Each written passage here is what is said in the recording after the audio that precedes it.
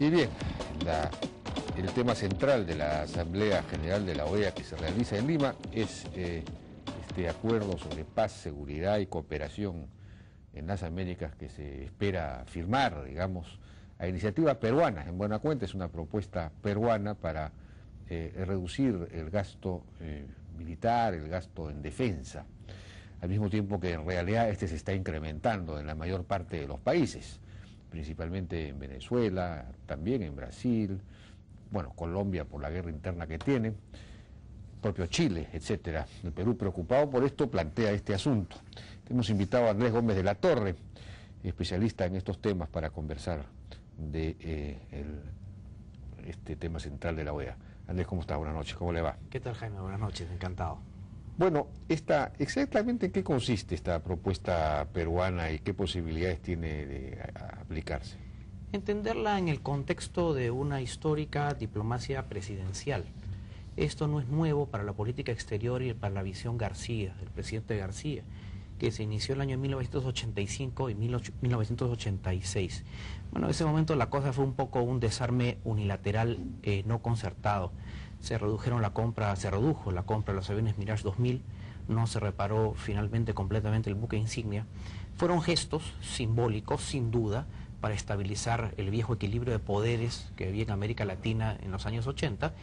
Eh, mm, digamos que eh, esto con el tiempo va perfilando ya no este, una visión de lo que es un desarme unilateral o un desarme concertado, sino más bien una reducción del gasto militar. Eh, le podemos llamar de muchas maneras, este, Jaime.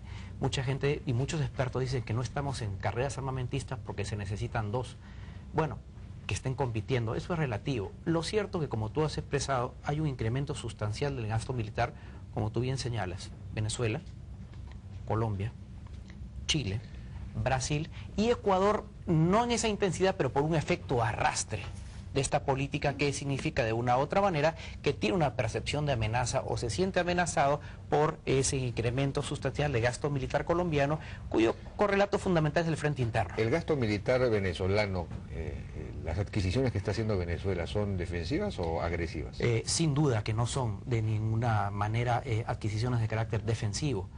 básicamente su, su, principal sistema de armas, el Sukhoi Su-30, ha comprado 24 eh, unidades eh, con perspectiva de comprar más aviones de combate suponen un, incremento sustancial de lo que se llama no solo su poder combativo relativo, sino también la introducción de tecnologías con misiles tiro más allá del horizonte. Los sistemas eh, antiaéreos TOR son 15, 20 kilómetros de alcance, pero eh, significan sin dudas un incremento sustancial en, eh, lo que significa la, potencialidad, la capacidad, la letalidad y la inserción de nuevas tecnologías militares. Bueno, lo que hace Chile es reposición de unidades eh, obsoletas o va más allá. Se puede llamar nuevamente de muchas maneras los eufemismos en políticas de seguridad y, políticas de defensa son moneda corriente. Lo cierto es que independientemente de que Chile tenga carrera armamentista o reposición, hay un incremento sustancial, progresivo, permanente del gasto militar en Chile, cuyo eh, eje principal es contradicción para una democracia, principio de publicidad, una ley secreta. Por eso es que es importante cosas como esta, si me permites, mm. eh, eh, Jaime, la metodología estandarizada común de medición del gasto militar elaborada por CEPAL, un procedimiento que se está aplicando de manera, y se va a aplicar de manera bilateral peruano-chileno, en que se estudia y se hace un barrido y un sinceramiento en materia presupuestal que incluye justamente estos rubros, que son estos presupuestos paralelos que tienen carácter secreto, en el cual, bueno, Chile tiene ahí un déficit de... Bueno, pero Chile hizo ese proceso con Argentina, o sea que ahí tiene que haber transparentado eso. Tiene que haber transparentado eso, eh, lamentablemente no hay mucha información al respecto, pero creo que dentro del marco de lo que es eh, este relanzamiento de la relación bilateral peruano-chilena en el ámbito de la seguridad.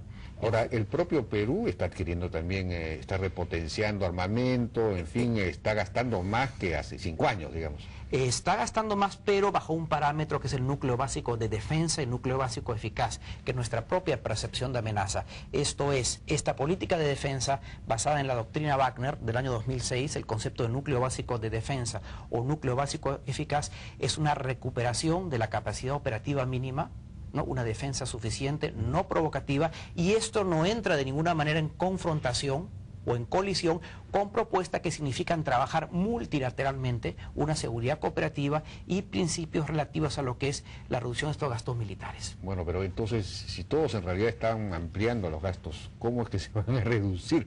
¿En qué consiste la propuesta para reducir? No, eh, eh, eh, el tema yo creo que, como lo ha expresado en la mañana el canciller José Antonio García de Belaunde, este es un proceso largo, ¿no?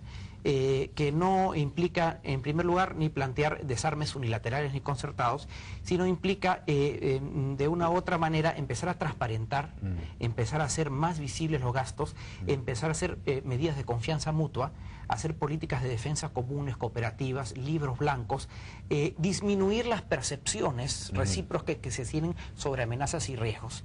El camino es largo, pero siempre quiero recordarte algo, no voy a decir qué país, pero un país de América Latina de hace dos años eh, ha insertado al mercado regional de armas 80 aviones de combate, 8 a República Dominicana, 24 a Colombia, 24 a Ecuador, 12 a Chile y nos va a vender 12 próximamente. Ese país tiene una política en UNASUR, en la OEA, de reducción del gasto militar, pero también, también tiene un complejo militar industrial.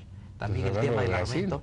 Eh, efectivamente 80 aviones supertucanos. Es un verdadero récord y un éxito comercial de la empresa Embraer. Sí, pues efectivamente. Así es. No cabe la menor duda. Entonces, ¿qué dirá Brasil sobre...? Bueno, eh, eh, quienes han apoyado la propuesta peruana son Estados Unidos, Ecuador y Chile, paradójicamente. así es. bueno, Brasil no se pronuncia sobre este tema. Mm, hay que mm, subrayar... A Brasil, por lo visto, le conviene que haya más compras. Más Bueno, yo quisiera subrayar aquí la buena relación que hay con Ecuador.